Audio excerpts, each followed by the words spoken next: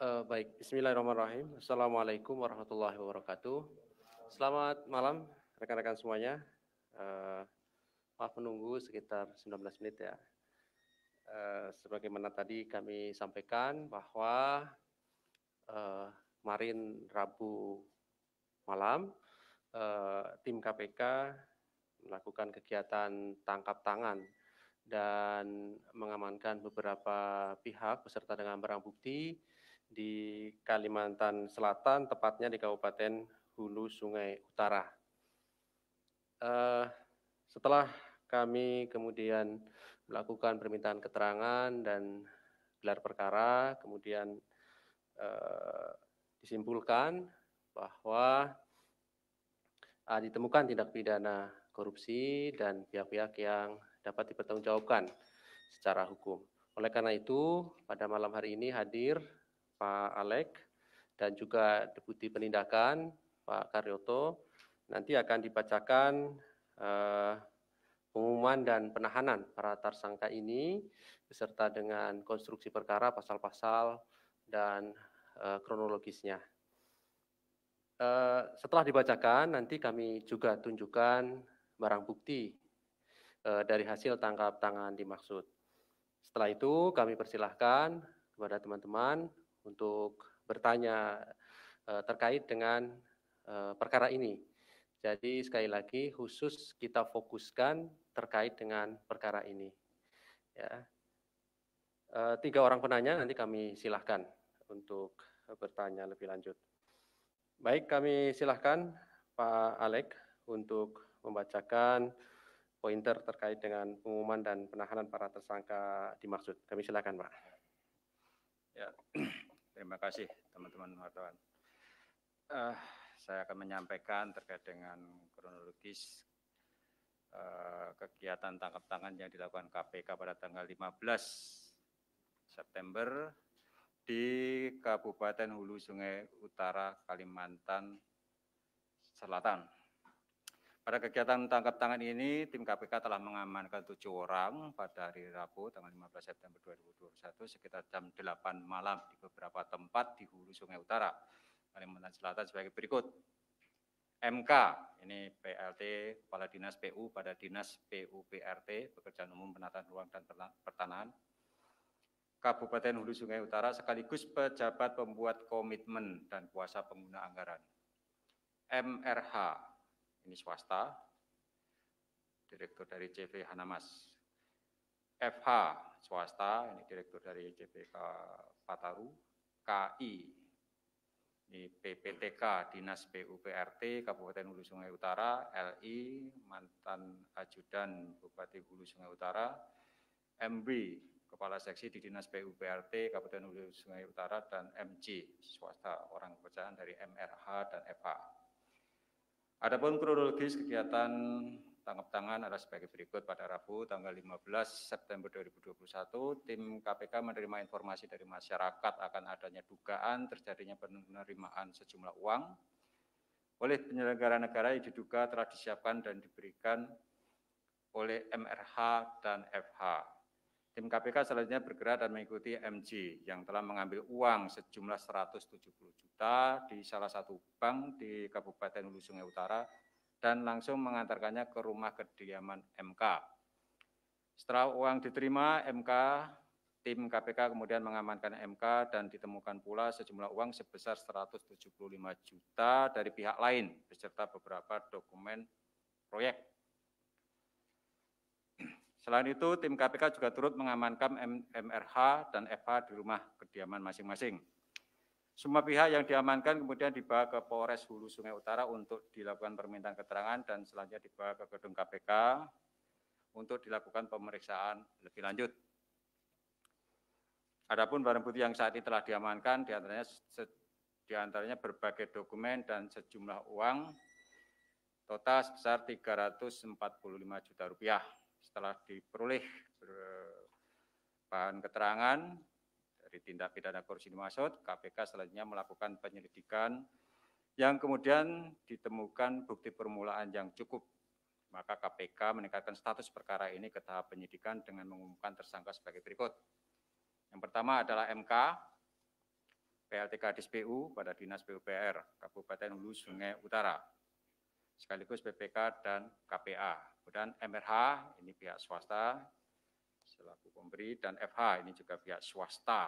Nah, untuk keperluan penyidikan, KPK melakukan penahanan untuk 20 hari ke depan, terhitung mulai tanggal 16 September sampai dengan 5 Oktober tahun 2021 di rutan KPK sebagai berikut.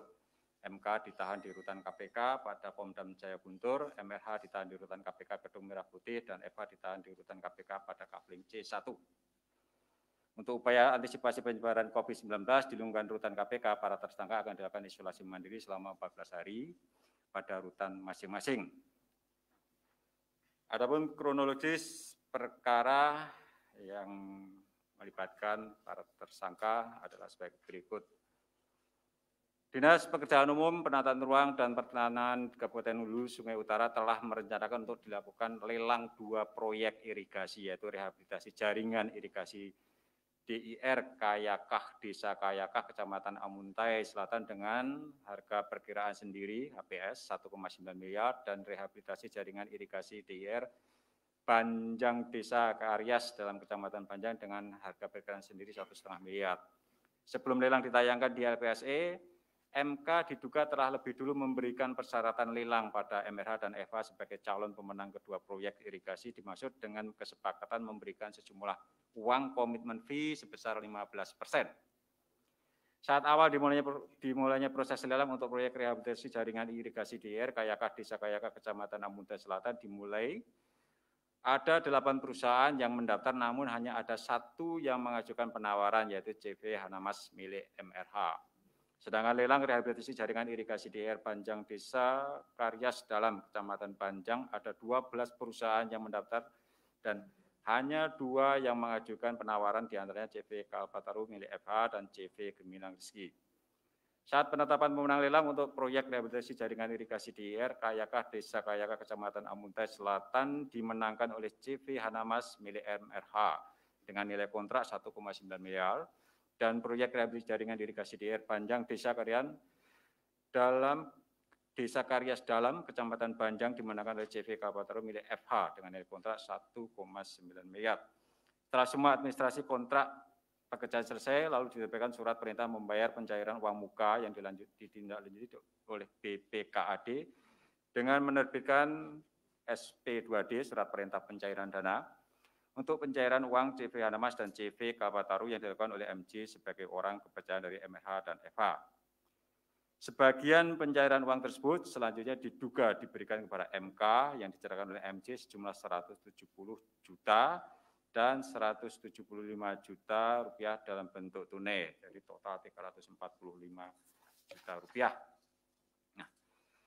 Atas perbuatan para tersangka disangkakan melanggar pasal sebagai berikut untuk MRH dan FH selaku pihak pemberi disangkakan melanggar pasal 5 ayat 1 huruf A atau pasal 5 ayat 1 huruf B atau pasal 13 Undang-Undang Republik Indonesia Nomor 31 Tahun 99 tentang pemberantasan tidak pidana korupsi sebagaimana telah dirubah dengan Undang-Undang Nomor 20 Tahun 2001 tentang perubahan atas Undang-Undang Nomor 31 Tahun 99 tentang pemberantasan tindak pidana korupsi junto pasal 65 KUHP. Sedangkan tersangka MK ini selaku penerima disangkakan melanggar pasal 12 huruf A atau pasal 12 huruf B atau pasal 11 Undang-Undang Republik Indonesia Nomor 3199 tentang pemberantasan tindak pidana korupsi sebagaimana telah dirubah dengan Undang-Undang Nomor 20 Tahun 2001 tentang perubahan atas Undang-Undang Nomor 31 Tahun 99 tentang pemberantasan tindak pidana korupsi junto pasal 64 KUHP untuk pasal 65 KUHP.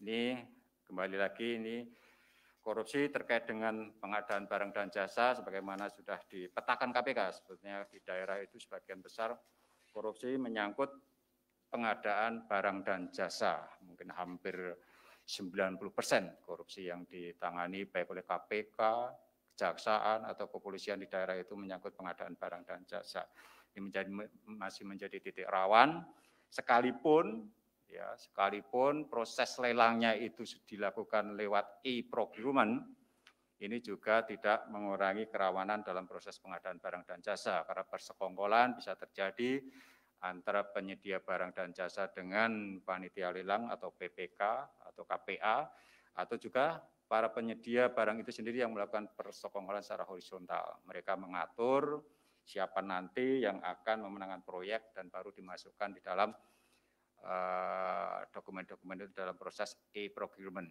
ya. Jadi itu e-procurement itu memang hanya alat, tapi ketika mereka melakukannya dengan bersekongkol, secanggih apa pun ya peralatan atau sistem itu pasti akan jebol juga. Ini yang kami selalu wanti-wanti kepada uh, panitia lelang atau ULP agar lebih jeli dalam uh, menangani perkara pengadaan barang dan jasa. Dan ini masih banyak kita temui di daerah-daerah.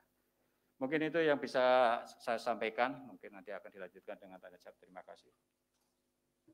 Baik, terima kasih Pak Alek yang telah membacakan uh, poin perkembangan dari hasil tangkap tangan uh, di Kalimantan eh, Selatan, tepatnya di Kabupaten Hulu Sungai Utara. Berikutnya akan kami tunjukkan barang bukti dari hasil tangkap tangan dimaksud berupa uang 345 juta rupiah.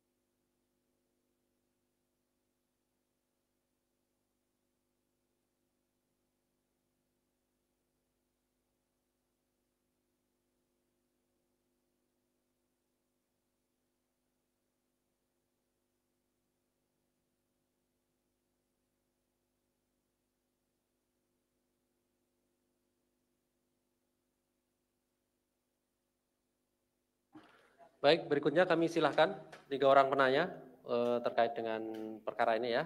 Silakan. Jika ada. Oh, ada ya di belakang. Mana tadi?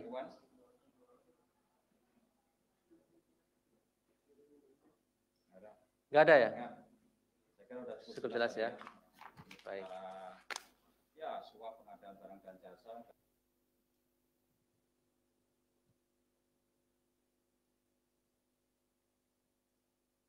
Terima kasih. Baik, oh, ada? Oh, enggak ada ya? Baik, kalau tidak ada pertanyaan dari rekan-rekan semuanya, saya kira cukup. Uh, tadi sudah disampaikan sudah cukup rinci dan jelas. Nanti untuk soft copy-nya kami akan uh, sampaikan kepada rekan-rekan semuanya. Terima kasih Pak Alex, terima kasih Pak Karyoto atas kehadirannya dan rekan-rekan semuanya yang hadir pada malam hari ini. Uh, kami tutup. Assalamualaikum warahmatullahi wabarakatuh. Uh, setelah ini tahanan nanti akan uh, naik dulu ke lantai dua untuk menyelesaikan administrasi pemeriksaan.